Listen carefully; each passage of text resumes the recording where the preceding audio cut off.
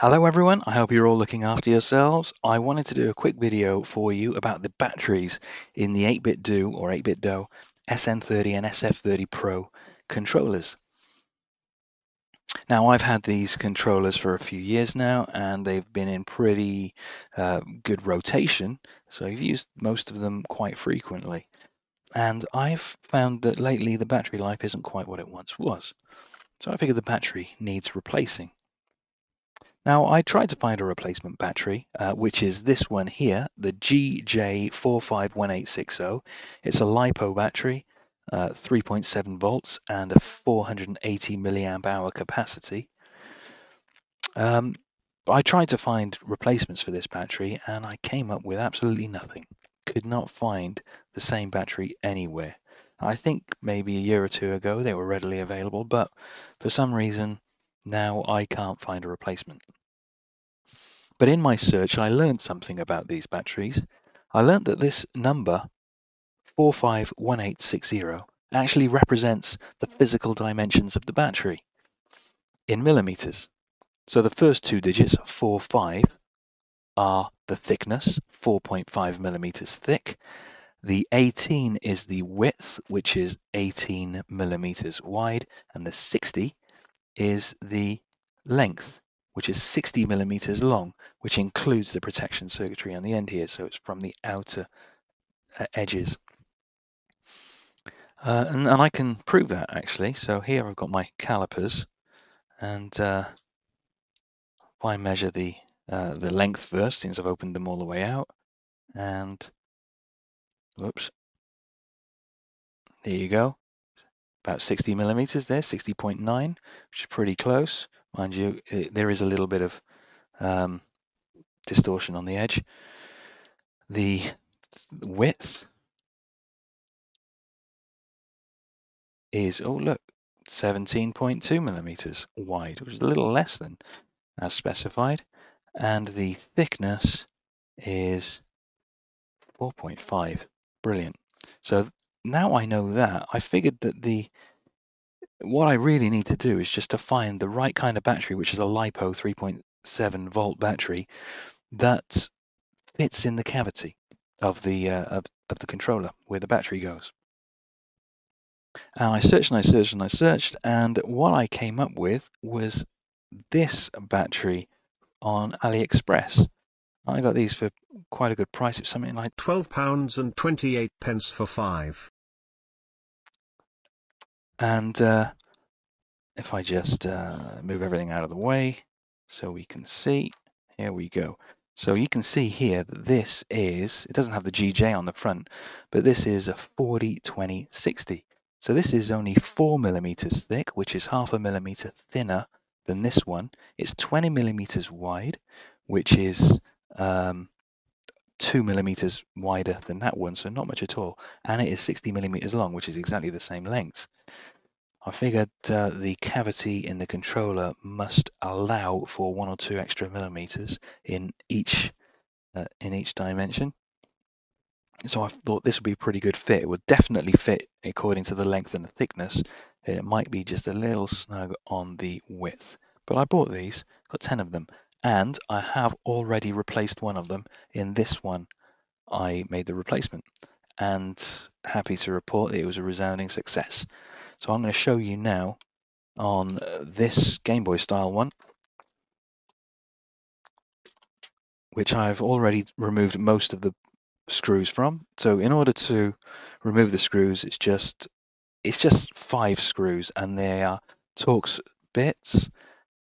It's a T6 so all you need is a T6 Torx screwdriver and it's simple as that, just five times. And then you just lift that off and there's no risk of anything falling out because this everything else is screwed into place all over. Now this one is absolutely flat, it doesn't start. But as you can see, here is the battery.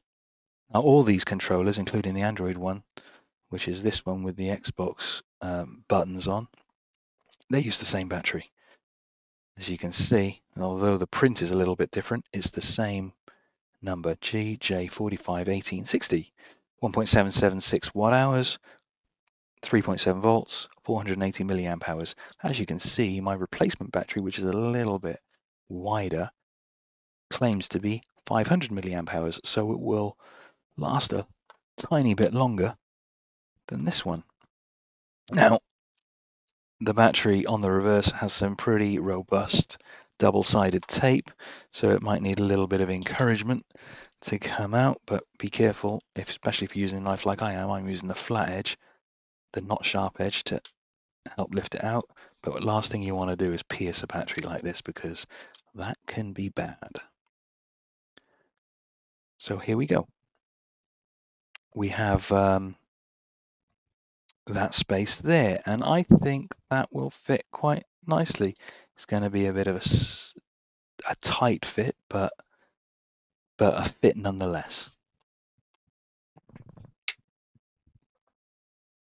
So all we need to do is remove the battery, which is soldered directly onto the board here and here. And, um, and then uh, put the new battery in its place. Um, also making sure to be careful that the wires come out on this lower left corner because there is a little space in the shell to allow those wires to go through. Okay.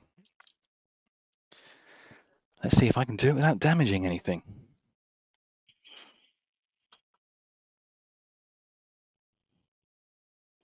Okay, so we've got um, red is positive, which is on the left, and black is negative, which is on the right.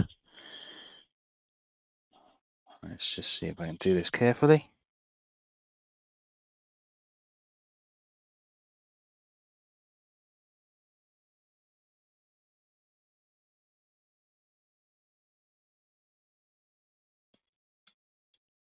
One down, two down. Now, the replacement battery has these little bits of masking tape on there to stop them from shorting against each other. Just remove those. There we go.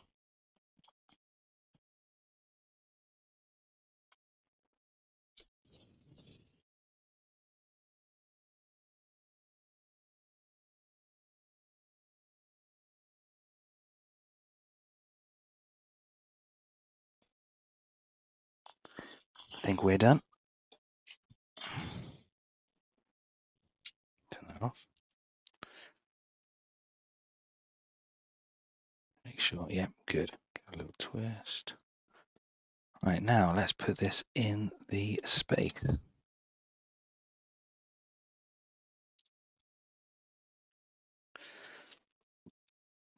The wires are a little bit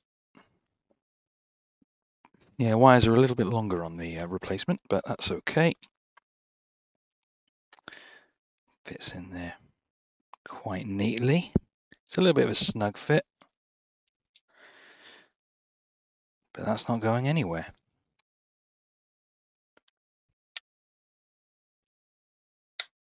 Put that on. All I need to do is put the uh, three screw, uh, five screws back in place. I'll just put a couple in for now.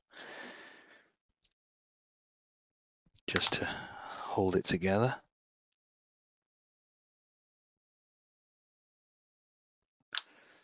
And uh, it's lighting up. If I turn the light off,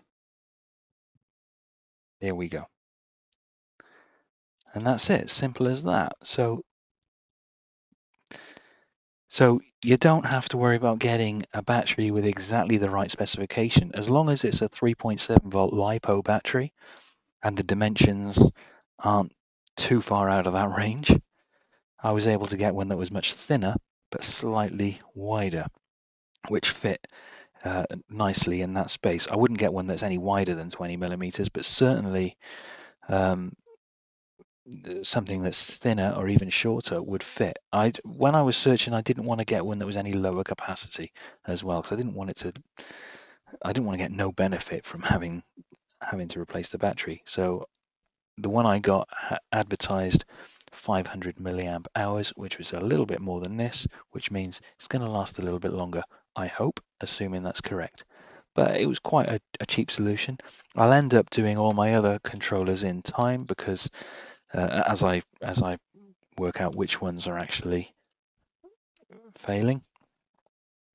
Um, but for now, I'm happy with the two that I have done, which is that one and this one.